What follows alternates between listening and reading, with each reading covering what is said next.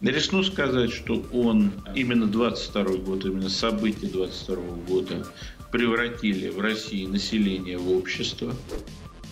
И я вам так скажу, что во многом специальная военная операция 2022 года была э, стимулирована осознанием в российской власти в российской элите некоторых для себя уроков событий в Беларуси в 2020 к украинцам Запад относится абсолютно запредельно чудовищно.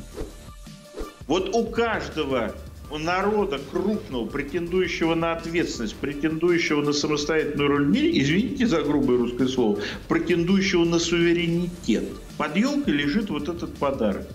Вот эта коробочка с зеркалом. Ее просто надо открыть.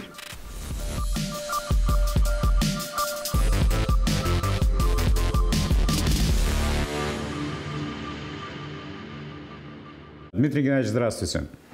Здравствуйте. Прожили мы все вместе.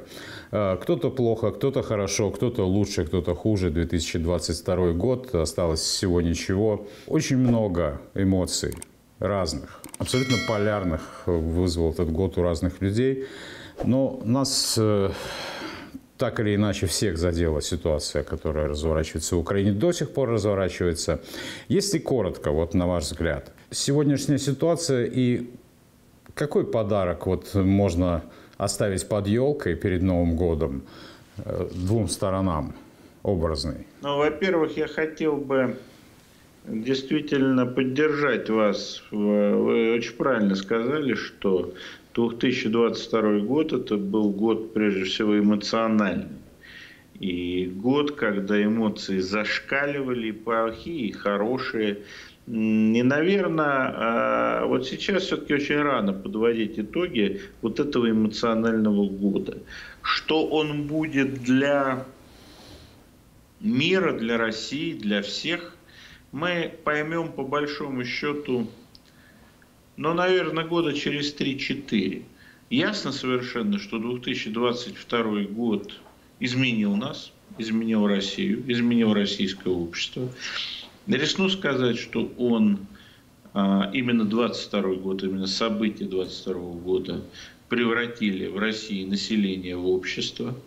А, я попытаюсь избежать употребления очень нелюбимого мной термина гражданское общество, потому что, ну, во-первых, он заимствован, во-вторых, он, в общем, слово гражданский в данном случае ничего не означает. Но вот общество как система социальных связей, как способность людей, больших групп людей принимать ответственные решения, нести за них ответственность, нести тяжесть этих решений, он для России безусловен. Но во всей своей глубине мы осознаем итоги этого года через два-три года. Что же касается подарков под елкой, ну, подарок для российского общества там уже лежит. Более того, мы уже открыли эту коробку с этим подарком. И даже на него посмотрели, кому-то он понравился, кому-то нет. Это подарок, в этой коробке было зеркало. 22 год, специальная военная операция, общественные процессы, связанные со специальной военной операцией, они дали нам возможность посмотреть вот это самое зеркало увидеть, что у нас хорошо, увидеть, что мы не совсем такие, какими себе хотели казаться. Увидеть, что называется, и недостатки своей физиономии. Вот. Наверное, а, у украинского общества а, а, в их подарке, который тоже уже лежит под елкой, но не распакован, тоже лежит это самое зеркало.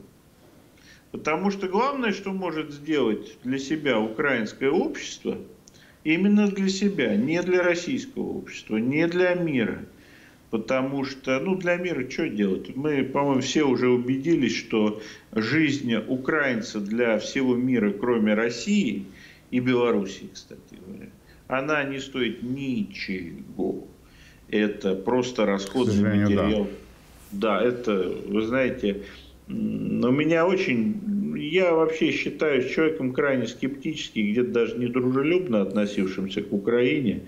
Но даже для меня, даже если принять эту оценку, отношение Запада к Украине, украинцам, ну, знаете, совершенно омерзительное.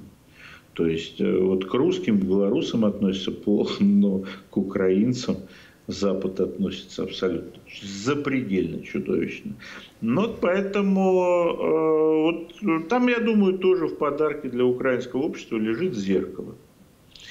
А, и этот подарок надо открыть, надо решиться его открыть. Вот самое важное, что произошло с российским обществом, мы решились открыть этот, эту коробочку. Мы решились посмотреть в это зеркало. Ну, это ведь мы очень решили. важно. Это очень важно. Ведь на самом деле. И я хочу Вот. только единственное, что сказать, что а вот для Беларуси это совершенно была другая история. Вы этот подарок, вы эту коробочку открыли раньше. Да. Вы эту коробочку открыли на полтора года раньше. И вот этот ценный опыт именно Беларуси, который, кстати, в России был недооценен. Вот это надо прямо вам сказать. И это я тоже говорю откровенно. Вот у каждого народа крупного, претендующего на ответственность, претендующего на самостоятельную роль в мире, извините за грубое русское слово, претендующего на суверенитет, под елкой лежит вот этот подарок. Вот эта коробочка с зеркалом. Ее просто надо открыть. А, но я только боюсь, что если наши замечательные украинские друзья откроют эту коробочку, вот, э, и посмотрят в нее, но я просто боюсь, они это зеркало разобьют и скажут, что это, так сказать, зеркало это москальская придумка. Да-да-да. Э, И вообще оптика это лженаука, да. Да, Опять же, моска- москальская. Но Вот, это, но это из той поговорки. подарках, да, а, а что ж на зеркало пенять-то, да, когда ну, продолжение все знают. А, И здесь э, почему вот я с вами согласен, что это очень важно и для российского общества, наверное, в первую очередь. Потому как министр иностранных дел России, например, Лавров говорил, что вот в 2022 году в мировой политике сорваны все маски, все, все. Теперь все понятно, да, кто, куда и за что. Но и ведь э, мало сорвать маски, важно уйти из мира иллюзий и придумок каких-то. И здесь как раз важно иметь вот это ровное зеркало, которое бы не искажало ничего. Ну, я не знаю, я, наверное, сейчас немножко э, своим, своим кроссовкам или своим кедом эм, э, почерчу по красной ленточке, но я вам скажу, что главное, что маски сорванные не только в мировой политике, о чем говорил Сергей Викторович, но ведь очень многие маски сорваны и в российской политике, и в российской культуре, и в российском образовании. Вот. э, Это же гораздо более важно, потому что, ну давайте тоже честно. Что Ну, он-то говорил со своих позиций, политики? да, а мы, да, мы говорим о себе. политики мы все для себя э, представляли. Ну да, там, значит, э, были иллюзии о том, что какой-то западный политик, вот у него что-то включится, и он проявит рациональность. Как, кстати говоря, все время думали про и говорили про Ангелу Меркель.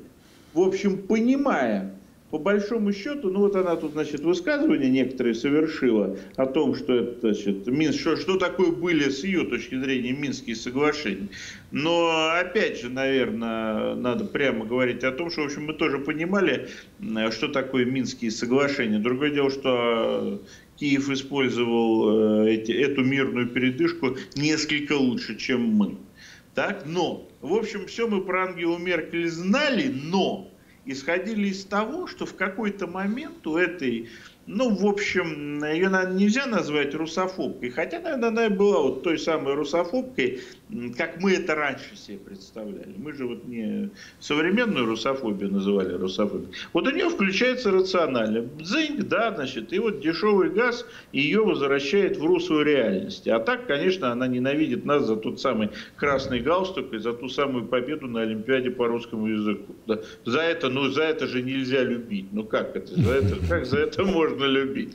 Вот. А, а вот то, что у нас происходит во внутренней политике, то, что у нас происходит в системе государственного управления, а это я вам скажу, что даже для меня некоторые были очень серьезные открытия, хотя я считаю себя достаточно циничным человеком, и я эту всю публику-то, в общем, наблюдаю с 90-х.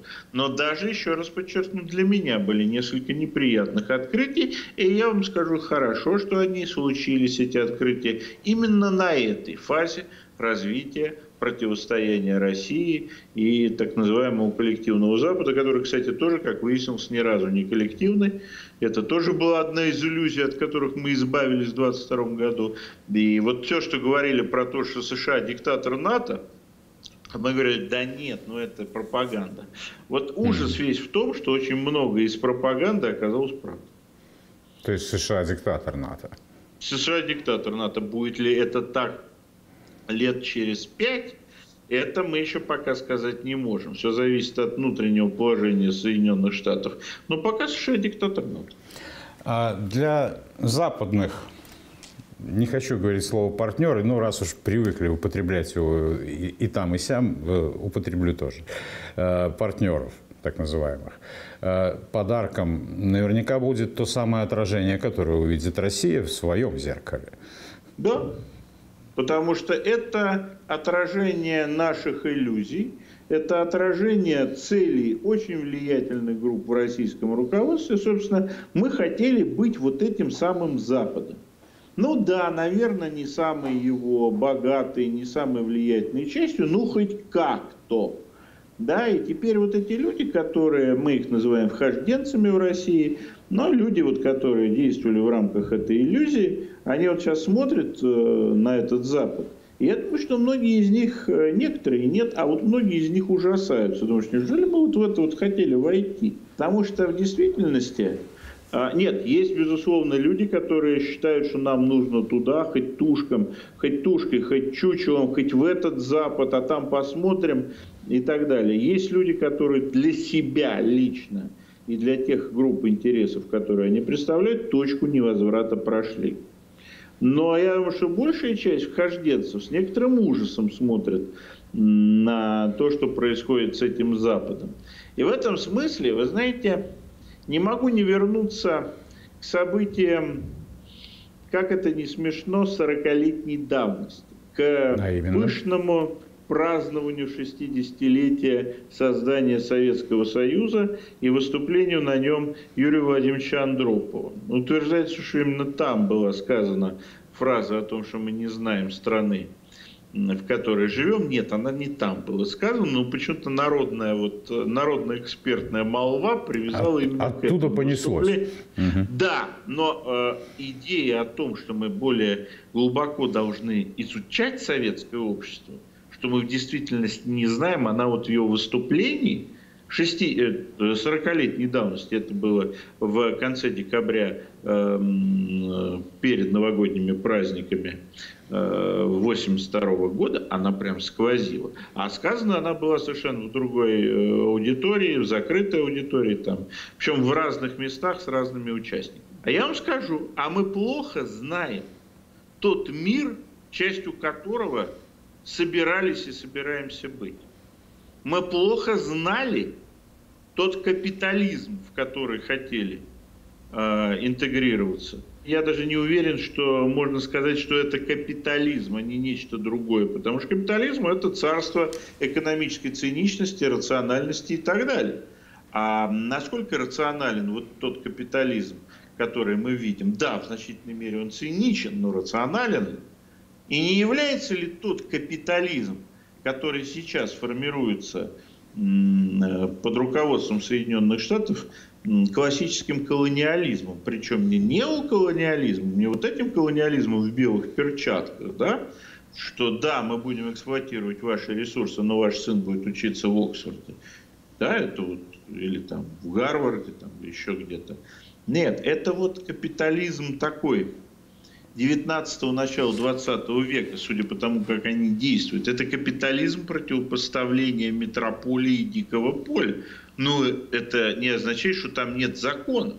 Это все равно будет развиваться по каким-то законам, по каким-то закономерностям развития. Вот нам нужно изучать вот это, вот эти процессы, чтобы потом с удивлением, не вглядываясь в то, что возникает напротив нас, а это вот ужас заключается в том, для очень многих из российской, прежде всего, элиты, я думаю, что Беларусь это в меньшей степени касается. Хотя, с другой стороны, вы тоже столкнулись э, некоторое время назад с очень жесткими противоречиями. Но Россия это касается очень так жестко этот э, новый колониализм, да, он прям вот стал напротив нас. И вот стоит.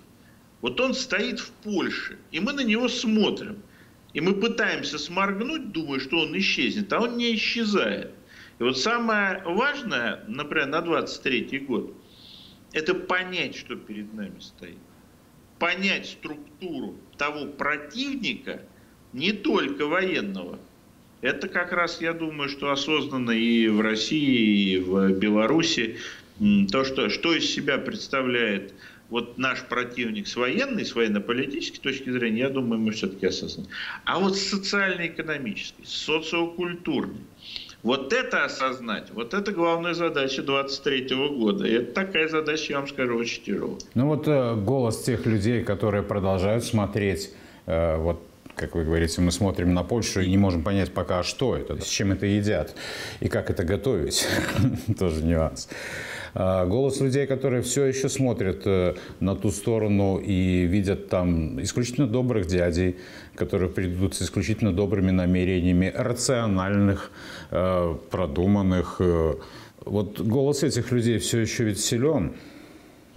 Я вам так скажу, что добрых дядей там, вот именно добрых дядей, там уже не видит никто. Даже те люди, которые там из Прибалтики, из Польши, из Соединенных Штатов нам рассказывают, что на Западе живут исключительно эльфы, там, э, и которые бегают, значит, и... Ну, да, ну, рай, да, как, как, как, как Барель назвал, да, там, э, это вот райский сад, который мы тут построили, а вы там все остальные. Это да, но в это да. не верят ни Барель, ни те люди, которые, ну, да. например, в России и Беларуси пытаются тиражировать вот эту вот что, извините меня за этот методологический термин. Так? Но верится в том, что из циничных соображений вот эти вот Э, бывшие эльфы, а ныне вполне такие вот, э, тоже, кстати говоря, я употреблю метафору Владимира Владимировича Путина, колониалисты в, про, в пробковых шлемах, он как давно это употребил, но это же так, вот сейчас это становится так, из циничных соображений, что им здесь нужна будет?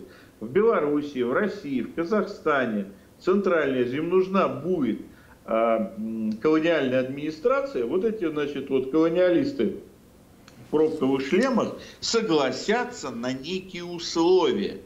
Все люди, которые даже будучи капиталистами, даже будучи в России олигархами, а, хотели, что называется, интегрироваться на своих условиях или с сохранением своих возможностей? Нет. Эти все люди сейчас, что называется, выбирают совершенно другое, и они склоняются, к слову говоря, к разного, ну, к различным трактовкам, но все-таки суверенного существования, потому что они понимают, что они в новом колониальном мире будут никем, потому что они хотели быть кем-то, а вот те, кто хотел изначально быть обслугой, вот те да.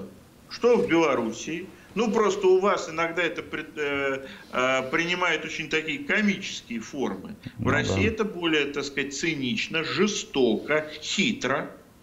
Да, российская обслуга все-таки оказалась более хитра, например, чем э, те, кто были прозападные, так, претендовали на роль прозападной обслуги в Беларуси. Да? Но тем не менее, э, вот э, в основном крикуны, которые, э, не веря в это, продолжают продвигать идею о, на райском саде и прекрасных людях, которые за ним ухаживают, а это уже не носители крупных социально-экономических интересов. Это все-таки вот уже, знаете, даже просто, э, извините, классовый состав категорически изменился. Ну и это, это результат 2022 года.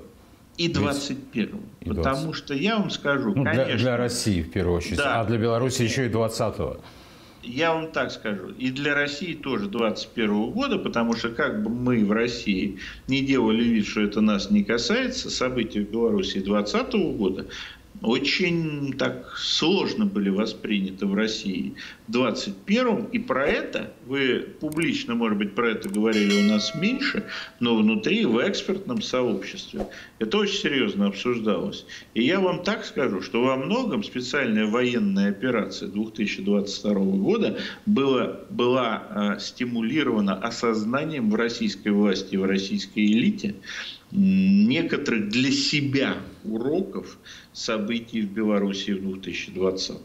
В действительности, вот я считаю, что мы много критикуем союзное государство, но в действительности оно играет очень большую роль в принятии политических решений в Беларуси и в России. Да, хотя мы остаемся при этом суверенными. И элиты у нас э, политические и экономические в меньшей степени, но политические элиты у нас взаимодействуют, но это все-таки разные. Это элита двух суверенных государств. 2023 год. Э, вот, э, вот из того, что вы рассказываете и э, как оцениваете ситуацию в России, в союзном государстве, я могу сделать вывод, что российское общество и вообще российское государство ну, становится лучше, становится более подготовленным к тому самому противостоянию с противником, до конца которого мы еще не поняли. Но, но, тем не менее, процессы эти идут и идут в правильном направлении. Согласен с вами. Прежде всего, потому что начальная фаза операции, ну, во-первых, еще раз говорю, все-таки эффект зеркала, который мы вот открыли коробочку, посмотрели, думаем, да. Ну, в общем, ничего, но в целом, конечно, надо подработать. Но а, особенно начальная фаза военной операции а, обнажила две вещи – Первое – это необходимость резкого улучшения системы государственного управления. Наверное, для России полный переход к так называемому ручному управлению он невозможен. Мы все-таки страна институциональная, ну, с его размеров, там, и в том числе такой, э, такой фактор, как э, часовые пояса. Да, ручным, ручным управлением крайне сложно. Кстати, как доказал опыт э, позднего Сталина, управлять вот такой страной именно в ручном управлении. Но вы заметите, как э, начало примерно с сентября месяца совершенствоваться именно институциональная часть управления российской системы государственного управления. Я думаю, еще очень многие перемены именно институциональные. Я сейчас не про персональные. Да, я понимаю да, они, они еще впереди, я думаю, в первой половине 23 года мы много увидим интересного. Второй момент. А, это необходимость иметь для такой страны в противостоянии с таким противником, каким является Запад, не только план А, но и план Б, план С, план Д, план Е и так далее. Вот и прям туда, вот дальше, в середину алфавита. И для, для того, чтобы иметь такие планы, многочисленные, и менять их в зависимости от проявившейся политики Запада, нам нужно, нам нужно иметь резервы, нам нужно иметь запас ресурсов, запас, так сказать, вот, резервные мощности, резервные мощности, например, в промышленности, резервные мощности, например, в сельском хозяйстве, резервную социальную инфраструктуру – и так далее. Это, кстати говоря, опять не могу не сказать, это то, чем всегда славился, продолжает славиться Республика Беларусь. И вот здесь мы у вас, собственно, вот вторую половину 22 года просто, вот просто видно, как мы учимся у Беларуси. Это хорошо, что есть у кого учиться, потому что если бы учиться было не у кого, вы знаете, это вообще грусть была полная. А так есть, э, есть возможность посмотреть, как это делается, какие издержки, какие позитивные аспекты есть и так далее. Вот вообще, знаете, говорят, учиться э, там надо на чужих ошибках. Я вам так скажу, я перефразирую, учиться надо у умных. Не надо учиться у дураков. У дураков ничему хорошему не, на, не научишься. Вот. А учиться надо умных. А белорусы это умные.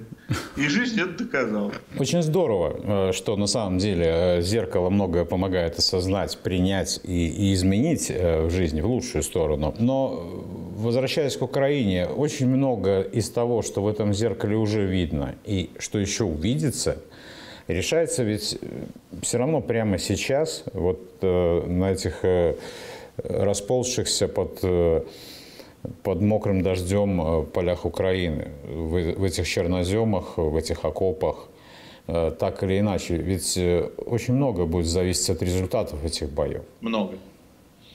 В действительности все наши политические, геополитические, геоэкономические построения, они э, будут иметь действительно такой общемировой смысл, если будет достигнута победа специальной военной операции, если ее цели будут достигнуты.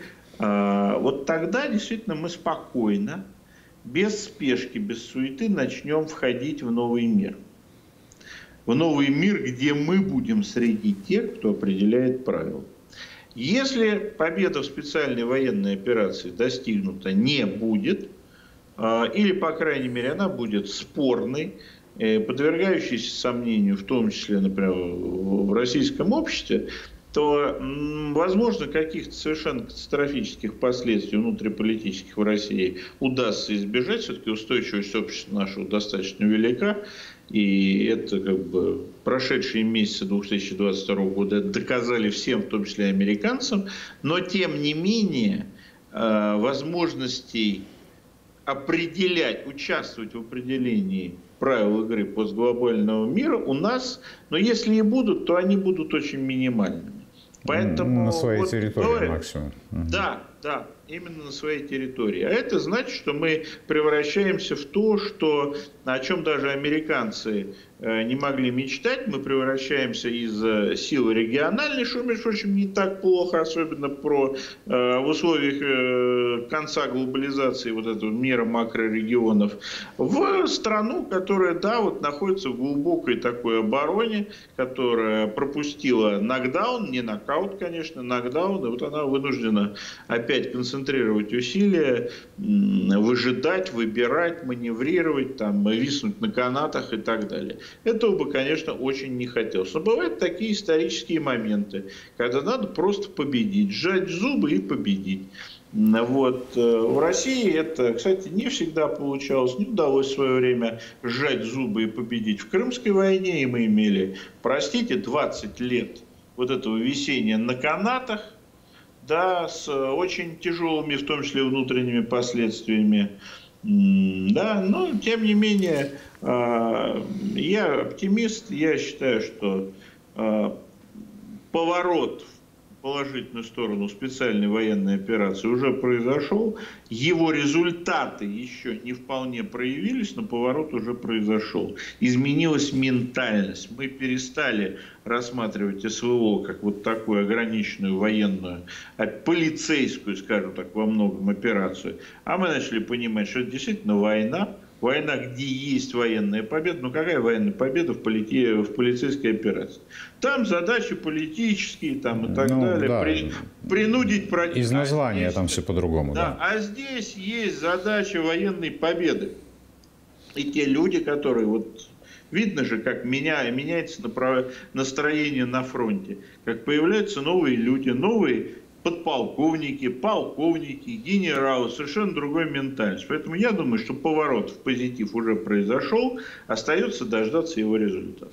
Вот победа в вашем понимании это как? И, и какой она должна быть, чтобы э, российское общество э, осознало, что да, мы победили?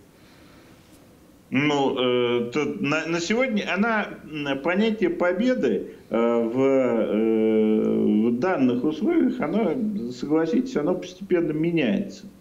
Так? На сегодняшний я могу вам сказать, что такое была бы победа на сегодняшний момент. Это полное освобождение четырех новых российских регионов вот, в, в их административных границах признание этого факта тем правительством, которое будет а, находиться в Киеве или еще где-то, признание этого факта в Вашингтоне, ну остальные, что называется, если Вашингтон признает хотя бы де-факто, как они признавали э, вхождение в СССР прибалтийских государств. Они де юра не признавали, а де-факто, ну, признавали. Признание де-факто – плюс еще, естественно, признание де юра. Вот здесь есть разница. Признание де юра вхождения в состав Российской Федерации Крыма. Так? А вот Крым уже, извините, как называется, положь на место. Крым де юра, а эти пока, признайте, де-факто. И распуск а, и э, полный демонтаж всех э, тяжелых вооружений а, украинских вооруженных сил, редуцирование там до какого-то количества полиции – выдача России всех военных преступников, ну и, что называется, признание всеми за Украиной нейтрального статуса. Пока вот так. Но, Но это, это если бы сегодня. Вот, это, вот, да? это, вот на, это вот, что называется, на, мы с вами разговариваем 29 декабря, вот это на 29 декабря. Но дальше это тоже может меняться. Правда, теперь это может меняться только в сторону ухудшения условий для Киева. Потому что, ну, согласись, э, в апреле месяце вообще все могло быть по-другому. И в том да. числе там, э, там могло быть только два региона. Да, и то это могли быть, что называется, независимые субъекты, как их Россия признала. Поэтому э, понятие победы в процессе геополитических трансформаций, оно, я умную вещь скажу, да, я даже слово такое знаю, флюидно. В чем была сила позиции Запада э, в, во Второй мировой войне в борьбе с немецким фашизмом? А, никаких особенных трансформаций мира по результатам победы над фашизмом не предусматривал. Там один был вопрос, каком виде оставить Германию. Но было ясно, как эта война закончится, где она закончится. Можно было спорить, кто поднимет свой флаг над Берлином и как потом эту Германию будут, что называется, утилизировать. Но идея была восстановить тот мир, который был по состоянию до значит, сентября 1939 года, а там будем уже решать по ходу пьесы. И идея Организации Объединенных Наций – это была идея восстановления прежнего миропорядка, ну да, так сказать, с большей ролью Соединенных Штатов, наверное, с, легали... с геополитической легализацией Советского Союза и так далее. Но там не было никакого Красного Китая, там не было никакой деколонизации Африки и так далее. Мы сейчас прекрасно понимаем, что мир начал катастрофически меняться. Изменения в мире носят катастрофический, а не эволюционный характер. Они затронут все регионы, не исключая Европу, то есть ядро глобализации. Они будут и политические, и геополитические, и социальные. Поэтому по мере продвижения в сторону изменения, трансформации мира, ну, естественно, будет изменяться и понятие э, того, что мы будем считать военной победой. Ну, я вам один просто пример приведу. Хорошо, 2 числа с утра над Львовом э, э, значит, поднимается польский флаг. Возможный вариант? Теоретически, да. Более, да я бы сказал, что он уже, чем дальше, там он, вот я тоже считал это теоретической. А, вот я могу сказать, что человек, который мне, про, мне про это рассказывал полтора года назад, я ему улыбнулся. Сейчас мне немножко даже стыдно, что я ему улыбнулся. А сейчас это уже такая вот, знаете, обсуждаемая перспектива. То есть, а сперва приоткрыли окошко. Ну так столько сделано за это время для, для этого, чтобы этот флаг конечно, мог, конечно, мог подняться, конечно. Но это, же, но это же изменит геополитическую реальность. Это изменит и наше понимание победы. Поэтому вот здесь вот все такое, знаете, понимание победы в мире глобальных трансформаций по определению флюидно. И, но э, вина, так сказать, за это абсолютно лежит на Вашингтоне и Киеве, потому что это можно было, что называется, малой кровью согласиться с требованиями России и жить, так сказать, дальше и пытаться нам гадить. Но они же захотели, понимаете, напомните, как Остап Бендер говорит, я бы взял часть, но мне нужно сразу. Вот это вот это вот э, позиция про э, позиция Вашингтона и Киева. Они бы, может быть, и хотели, частично удовлетворить требования России, но они были настолько жадными и настолько самоуверенными, что им захотелось все сразу. Ну вот они и получают то, что получают. Ну, Остап Ибрагимович э, закончил не очень хорошо, поэтому эти принципы, ну, уже видно, что не сработали. Поэтому, что ж, в любом случае, э, спасибо вам за этот разговор. С наступающим Новым годом. Э, пусть у каждого под елкой будет подарок тот, которого он заслуживает. Ну а нам всем победы. Какой она будет? Посмотрим. Спасибо вам большое. Спасибо. Всего доброго.